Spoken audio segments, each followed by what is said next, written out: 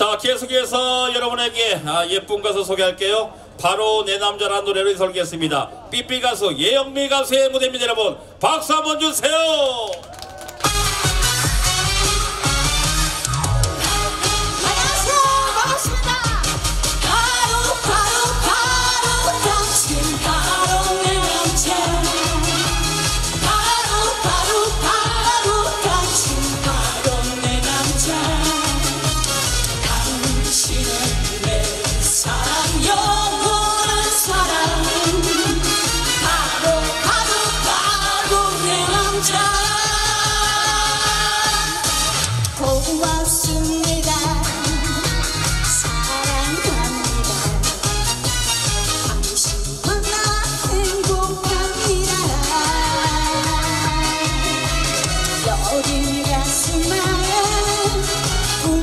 준 당신 나만을 사랑한 당신